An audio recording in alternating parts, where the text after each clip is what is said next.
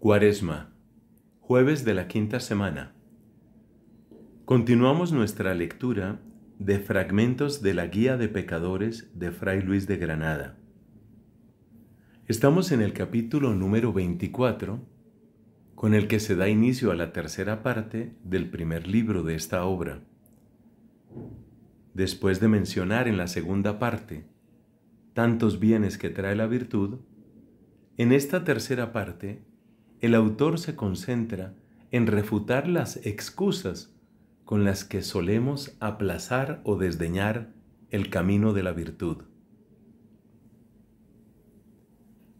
Ninguna duda hay, sino que lo que hasta aquí habemos dicho bastaba y sobraba para el principal propósito que aquí pretendemos, que es inclinar los corazones de los hombres, supuesta la divina gracia, al amor y seguimiento de la virtud.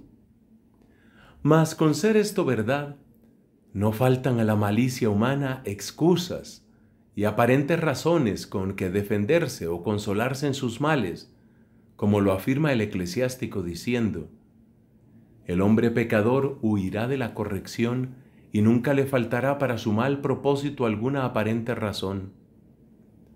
Y Salomón, otro sí, dice que anda buscando achaques y ocasiones el que se quiere apartar de su amigo. Y así los buscan los malos para apartarse de Dios, alegando para esto cada uno su manera de excusa. Porque unos dilatan este negocio para adelante, otros lo reservan para la hora de la muerte, otros dicen que recelan esta jornada por parecerles trabajosa, y otros se consuelan con la esperanza de la divina misericordia, pareciéndoles que con sola fe y esperanza, sin caridad, podrán salvarse.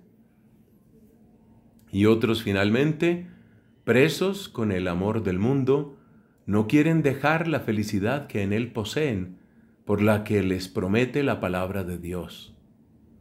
Estos son los principales embaimientos, embaucamientos y engaños con que el enemigo del linaje humano de tal manera trastorna los entendimientos de los hombres que los tiene casi toda la vida cautivos en sus pecados, para que en este miserable estado los saltee la muerte, tomándolos con el hurto en las manos.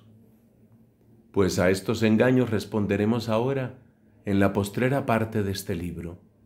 Y primero, contra los que dilatan este negocio para adelante, que es el más general de todos estos, Dicen pues algunos que todo lo dicho hasta aquí es verdad y que no hay otro partido más seguro que el de la virtud y que no quieren dejar de seguirle, mas que al presente no pueden, que adelante habrá tiempo en que más fácilmente y mejor lo puedan hacer.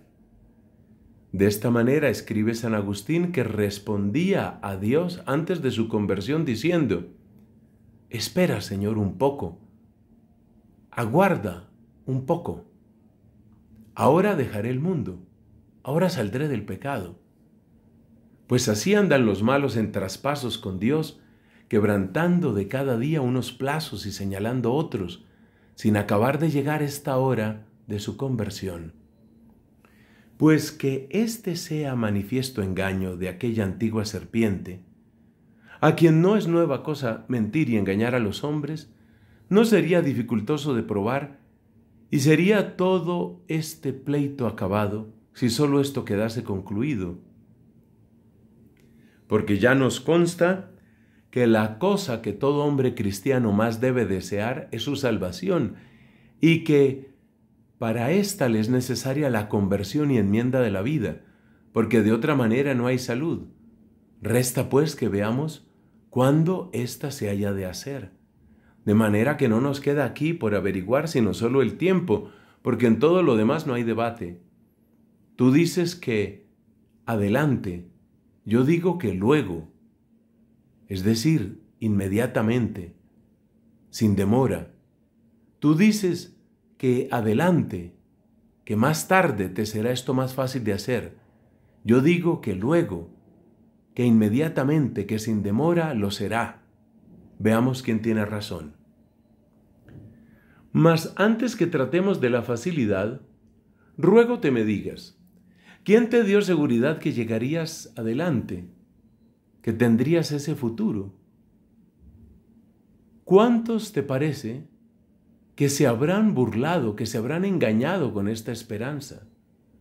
San Gregorio dice, Dios, que prometió perdón al pecador si hiciese penitencia, nunca le prometió el día de mañana. Conforme a lo cual, dice Cesario, dirá alguno por ventura, cuando llegare a la vejez me acogeré a la medicina de la penitencia. ¿Cómo tiene atrevimiento para presumir esto de sí la fragilidad humana? Pues no tiene seguro solo un día. Creo verdaderamente que son innumerables las ánimas que por este camino se han perdido. A lo menos, así se perdió aquel rico del Evangelio, de quien escribe San Lucas, que como le hubiese sucedido muy bien la cosecha de un año, púsose a hacer consigo esta cuenta. ¿Qué haré de tanta hacienda? Quiero derribar mis graneros y hacerlos mayores para guardar estos frutos. Y hecho esto, hablaré con mi ánima y decirle, eh, aquí tienes, ánima mía, muchos bienes para muchos años. Pues que así es, come, bebe y huelga y date buena vida. Y estando el miserable haciendo esta cuenta, oyó una voz que le dijo, Loco, esta noche te pedirán tu ánima, eso que tienes guardado para quién será. Pues qué mayor locura que disponer un hombre por su autoridad lo que ha de ser adelante, como si tuviese en su mano la presidencia de los tiempos y momentos que el Padre Eterno tiene puestos en su poder. Y si del Hijo, solo dice San Juan que tiene las llaves de la vida y de la muerte, para cerrar y abrir a quien y cuando Él quisiere, ¿cómo el vil gusanillo quiere adjudicar así y usurpar ese tan gran poder? Solo este atrevimiento merece ser castigado con este castigo, para que el loco por la pena sea acuerdo, que no halle adelante, es decir, en el futuro tiempo de penitencia, el que no quiso aprovecharse del que Dios le daba.